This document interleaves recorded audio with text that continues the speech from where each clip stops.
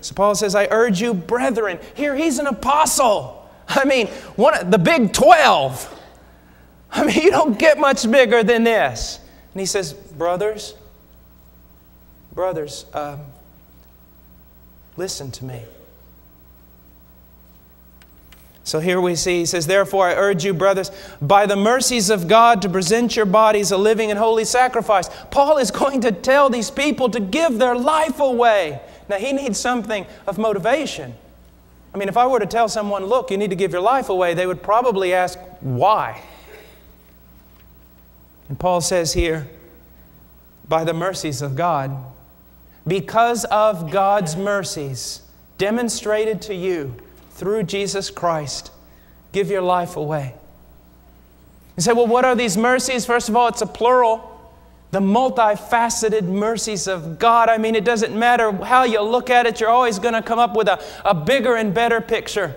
You look at mercies of God from one side and you think, well, maybe it's one dimensional like most things in our life, but then you get behind the thing and you realize you discover something completely new. And then you go to one side or another, or you go below and look up, or you go up and look down and you try to grasp the, comprehend the beauty of this mercy that's been given to you. And you say, what mercy? You go to the first 11 chapters of this book of Romans and you discover what mercy. The fact that we were all lost and deserved condemnation. The fact that we could not save ourselves by our own works and didn't even want to. The fact that God sent His only begotten, precious, holy Son to die on a tree carrying our sin and condemned under our judgment. And when he died, he paid the price. And after paying the price, he rose again from the dead. And 40 days later, he was exalted in the heavens. He sat down at the right hand of the majesty on high. And he sat there as God's man for you and He ever lives to intercede on your behalf. Now, do you need more motivation? Because if you do, you're lost. If you, need to if you need me to tell you that if you serve God, you'll get a Mercedes, you're lost. If you need me to tell you that if you serve God, He'll heal your body and fix every one of your problems, if you need that, you're lost. If Jesus is not enough to motivate you to godly living, you don't know Jesus. So well, let's keep it simple. Christ and Christ alone. No one else. I have need of nothing else. It is well with my soul. I want my sons to put their life at God's disposal. Here I am, Lord. Speak to your servant. What do you want from me? That's all. That's all that really matters. As a matter of fact, my dear friend, when you're on your deathbed, and you will be there, when you are on your deathbed, the only thing that's going to be running through your mind is did you put your life at His disposal? I mean, I want to tell you something right now. If I were to go to Ethiopia and start 500 churches in three years, but God told me to be a janitor in a small Midwestern town I'd be disobedient planting all those churches. It's not to do great things, it is to obey God. It is to put your life at His disposal, and that is it. Isn't it simple? I had a guy walk into my office one time. He said, You know, the Christian life is very, very complicated. I said, No, it's not. He said, Yes, it is. I said, No, it's not. He said, Yes, it is. I said, No, it's not. And I won because I was the pastor. I could also whoop him. I said, No, it's not complicated. He said, Well, there's so many decisions. I said, No, there's not. Said, God's already made all the decisions, son. Now you've got the same problem I do. You going to obey or not? You going to put your life there or not? And I want you to understand, let's go back to that word brethren. When I'm preaching this to you, as my preacher back home says, my pastor, he says, I got one finger pointing at you, I got three pointing back at me. This is as much for me as it is for you today. All of us struggle with this. You know, we say we have so many struggles and so many things. No, you only have one struggle, and it's the same one I have. Are you going to put your life at God's disposal? That's the only thing. It's really only one thing matters. And I guarantee it, I struggle with it just as much as you do. Are you going to put your life at God's disposal? Christ first. Lord, what do you want me to do today? What do you want me to see? What do you want me to say? What do you want me to hear? How do you want me to spend what you've given me? How do you want me to do everything you want me to do? How do you want it, Lord? Here I am, Lord. Just goes back again to being at His disposal. I remember one time in seminary, I decided I'm going to live one day totally at the disposal of God. Well, that was an ambitious thing to do. I, didn't make it, but I did notice some differences. I remember just, I, you know, when you're young and you're in the ministry, some, you ought to just be locked away for a few years because you're just not right in the head. So, you know, I just got outside of the door of my house. Okay, Lord, now what do you want me to do? It's like, well, Paul, you got a class in five minutes, so you better get there. But I'm trying to walk across campus, just be sensitive. And I mean, just being goofy is what I was being. But I'm just trying to just every step, Lord, where do you want? And then all of a sudden, there out of the left, there was a lady that I'd talked to several times. She was an older lady, a cook, there at the seminary. And she came walking out and was standing there kind of sad. And I'm, you know, just trying to be this spiritual giant. And the first time God, I felt like God told me anything that morning was go tell her about my son. And guess what? Oh, I was willing to walk around like a zombie looking spiritual.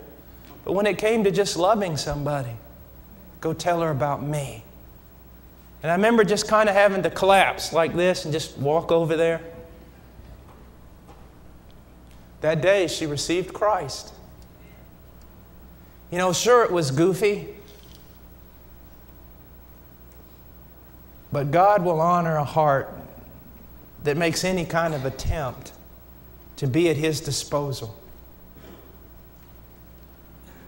You know, sometimes I think we love daytimers because we can somehow write God out of our day. Well, God, you know, I want to make every minute productive for you.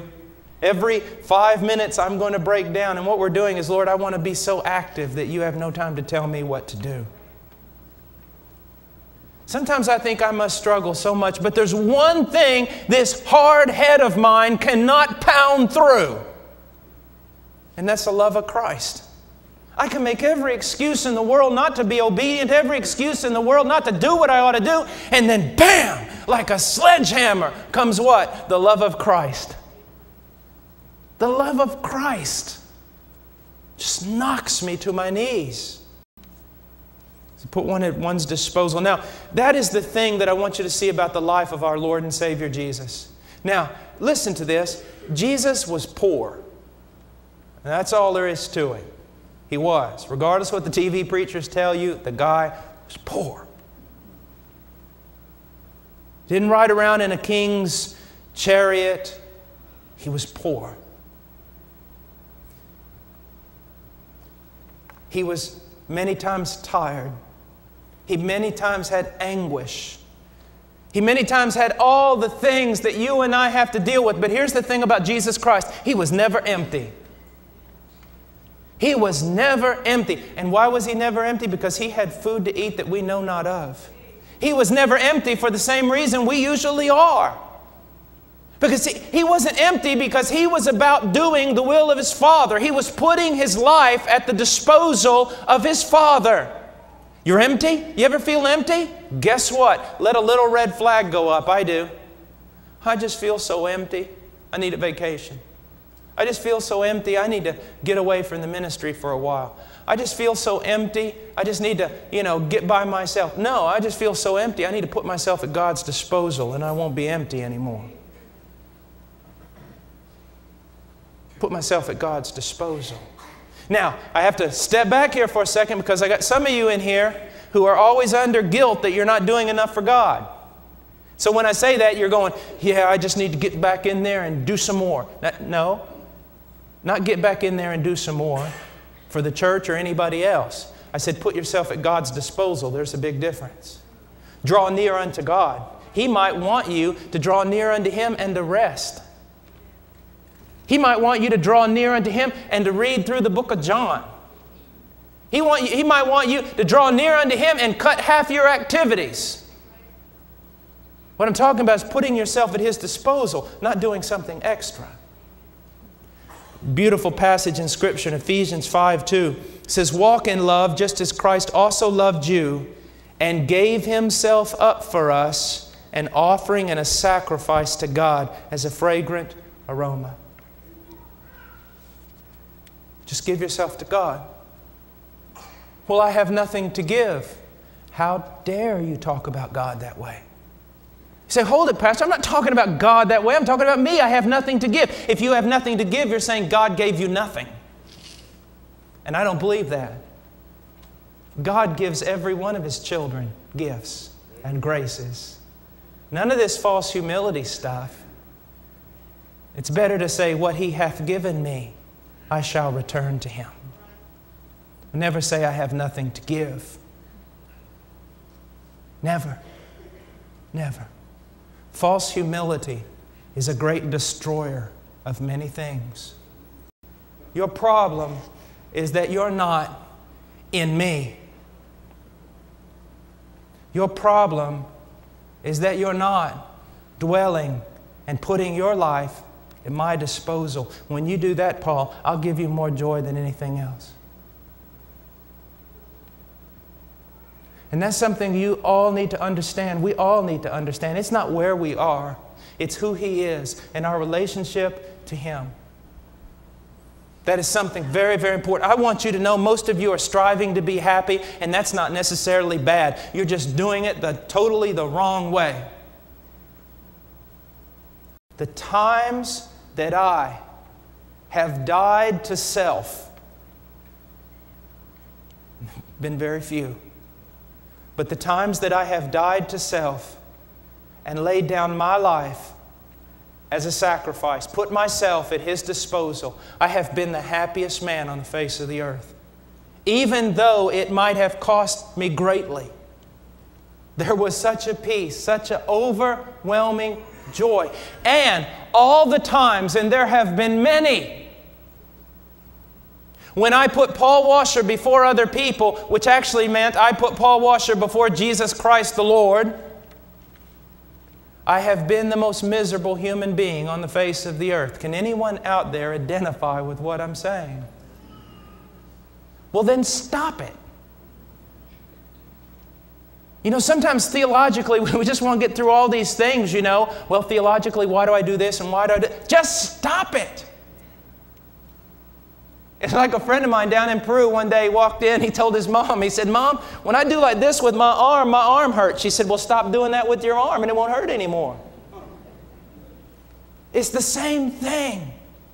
You know, those of you who are truly Christian, you know the times when you have surrendered yourself to Christ. You know the times when you've put Christ before everything, when you've presented your life to Him as a sacrifice, and you know the joy of that.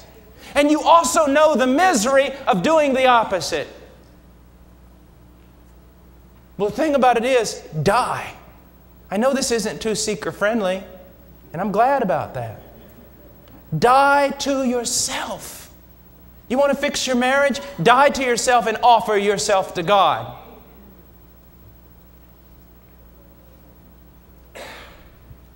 You want to fix everything? But what you can fix, die to yourself. One who tries to gain his life will lose it. Accept a kernel, accept it, fall to the ground and die. Bears no fruit. But if it dies, bringeth forth much fruit. It's all about Jesus Christ being first and second and third and fourth and fifth. What I'm saying is, don't put Jesus first. Jesus is everything. He's not just first in a rank, He is everything. The whole shooting match, as we might say. He's everything. Lay down your life. So with Charo several years ago in Peru, and she's always been a very, very wise person. And after about teaching four or five classes, some Romanian girls, that was was in Romania. Some Romanian girls came up to her and they said, We don't need to hear anything else you've got to say. Charo said, Why? She said, Because you say the same thing every time. Charo said, Yeah. It's really that simple. Read the Word of God. Seek to submit your life to it. Pray for power. Lay down your life. Live for others, not for yourself. Die to self that you might have life. That you might have life. Die to yourself that you might have life. That's what it comes down to. I have never given anything away that I have felt sorry for. I have kept things that I have regretted. I have never been self sacrificing that I look back on it now and say, I wish I hadn't done that. But I've been selfish so many times and said, I wish I hadn't done that. It is really what Jesus said die and give your life to Him. Die. Die. Should we be theologically correct? Yes, we should. Should we do be other things? Yes, we should. Does any of it matter if we don't do this first thing? No. Die to ourselves. Give our lives away. Not self promotion, self demotion. So that Christ might be promoted. He must increase. I must decrease. And oh, did he have joy, that John the Baptist. Tonight we're going to talk about offering your body. Why did he say body? For a very, very important reason. He didn't say give your heart, he said give your body. And we're going to talk about that tonight. Now, if you're here this morning, what can I say to you? You know, I gotta be honest with you. I'm not expecting you to hear this message and just be flat out transformed and everything go right the rest of your life. I'm more hoping this message will be like a cocklebur under the saddle. And it'll be always this reminder to you Are you empty? Then die. Are you miserable? Then die to self. Live for Christ. Are you just feeling all dirty inside? Then put yourself at His disposal. Draw near unto Him. A constant reminder of these things that you and I are called to habitually, continually die to self and to give our lives to God. Some of you young people out there, you are going to terribly mess your life up. You are. And I'll tell you why. Because you're going to take the reins and you're going to run with it. And when you do, well, a few years you'll be in my office. You're going to take the steering wheel and you're going to say, I'll drive my own car, and you're going to regret it all the days of your life. I implore you to throw down the reins, to let go of the steering wheel, and to submit to the sovereignty of Christ. Not to the sovereignty of this preacher, because this preacher, you know what preaching is like? Sometimes I don't like the way it's done. And I'll tell you why. Because it looks like I've got some message and I'm like God's co pilot or something, and I'm giving the message to you. When in fact it is, the message, if it is of God, it's like I should speak it, run down there, sit and listen to it, just like you. This is not on the authority of some preacher. You read the Bible yourself. Do you agree with what I just said about Romans 12, verse 1? It's not about submitting to a pastor, a church, or anything else. It's about submitting to Jesus Christ and putting your life at His disposal and becoming everything that He desires you to be. But you have to die. You have to die. Now, if you're not a Christian here today and you're saying, what is all this lunacy? That's exactly what it is. Come lose your life for a carpenter's son, for a madman who died for a dream, and you'll have the faith his first followers had, and you'll feel the weight of his beam. It is lunacy. To someone who doesn't know God, to die to self in this world. We live in the Roman Empire where it's all about self promotion, being strong and powerful and getting everything so that people will applaud you. Not in the kingdom. It's not about going up the ladder, it's about going down it.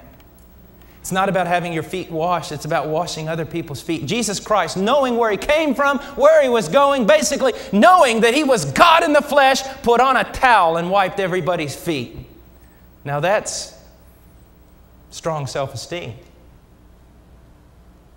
That's what this is about.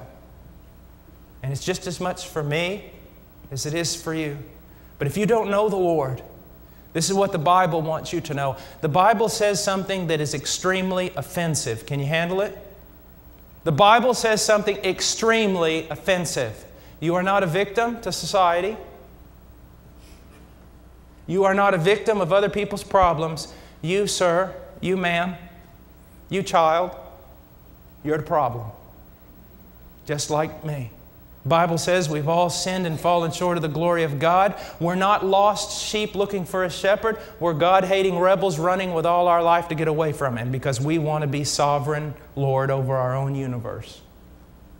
And the Bible says you keep doing that, you'll even be more destroyed. The Bible calls you to repent, to recognize your sin, and to hate it and to run back to God, a just God who could not forgive you because you have broken every law except that He sent His Son to pay for every crime you ever committed. The payment has been made, justice has been satisfied. Believe on the Lord Jesus Christ and you will be saved. That's what it's about. Your good works are like filthy rags. They are dead before God and of no account. They're just like mine. The only merit, the only virtue we have is Jesus Christ crucified and resurrected from the dead, our only hope and our only glory. Our only hope.